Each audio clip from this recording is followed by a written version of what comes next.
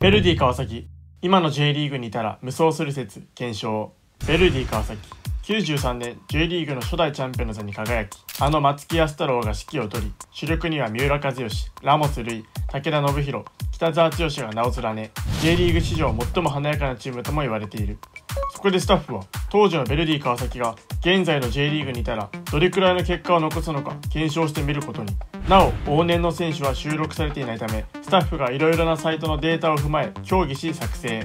また当然ベルディ川崎も収録がないため海外のチームを乗っ取り心を鬼にして現在 J リーグ最下位の横浜 FC とトレードする形で J リーグ参戦。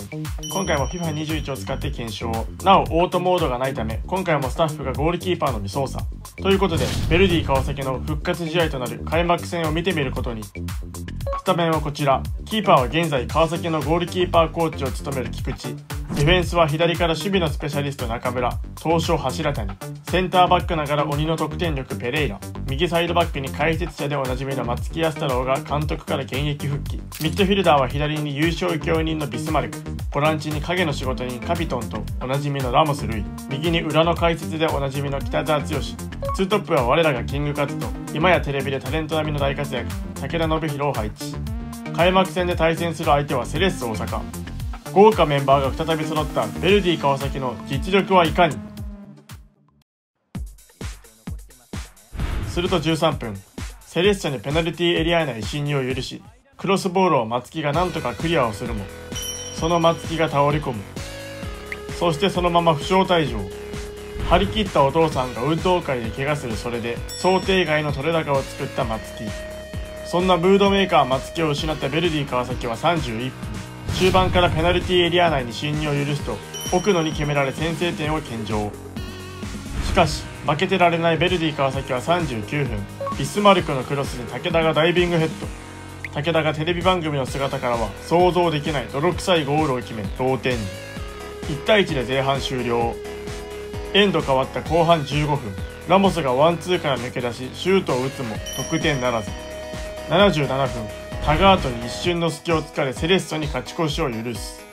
さらに後半アディショナルタイムにもペナルティエリア内で崩されるとまたしても奥野に決められ1対3に。そしてそのまま試合終了。J 復活戦はまさかの敗北スタートとなったベルディ川崎。その後2節目のマリノス戦では影の仕事人カピトンがスーパーボレーを決めるも試合は1対3で敗戦。さすがにこのままではスキップできないので当時のライバル鹿島との試合を観戦することに。すると23分中盤でボールを回すと武田のパスに最後はビスマルクが決め先制。お祈りポーズは出ることがなかったがビスマルクが後に移籍する鹿島からゴール。さらに39分キングカズがディフェンスを引きつけると最後はラモスがぶち込み2点目。そして2対0で前半終了。78分には影の仕事にカピトンが強烈なミドルを決め3点目。さらに89分にも今度はキングカズが強烈なミドルを決め4点目。スタッフはここでカズダンスをやるべきだろうと思いつつも決めるべき選手が決め4対0に。そして試合終了。ベルディ川崎がライバル鹿島を下し待望の初勝利を記録。またその後の川崎ダービーでは12分にカピトンから武田。16分にコーナーキックから北沢。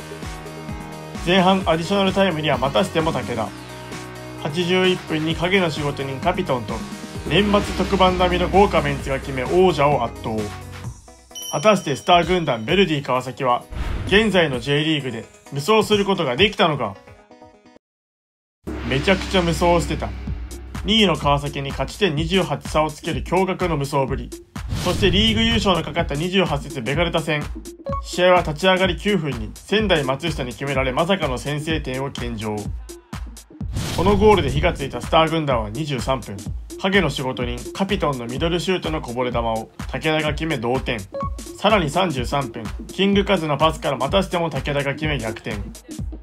さらにエンド変わった88分。ラモスが優勝を近づけるゴールを決め3対1そしてそのまま試合終了。なんと6節を残してベルディ川崎が J リーグ優勝を達成。個人成績ではペレイラがリーグ戦2ゴール4アシスト。東証柱谷がリーグ戦3ゴール5アシストとセンターバックの2人で5ゴール9アシストの攻撃力。また影の仕事人カピトンが32試合8ゴール5アシストともはや表向きの仕事量。そしてラモス・ルイは32試合9ゴール9アシストと成績はいいがキリの悪い数字に。また裏の解説者北澤剛は33試合14ゴール3アシストと隣にいる方も思わずムムムの成績。武田は33試合18ゴール7アシストと今後見る目が変わる活躍ぶり。そしてキングカズは驚異の32試合20ゴール9アシストと赤スーツ復活の成績に。しかし小林優が22ゴールとイニシャル通りの KY ぶりで惜しくも得点をならず。そして皆さんお忘れであろう。開始わずか13分で負傷した松木の成績は全十字靭帯やっちゃってた。ということで検証結果松木が一番無双するのは解説席でした。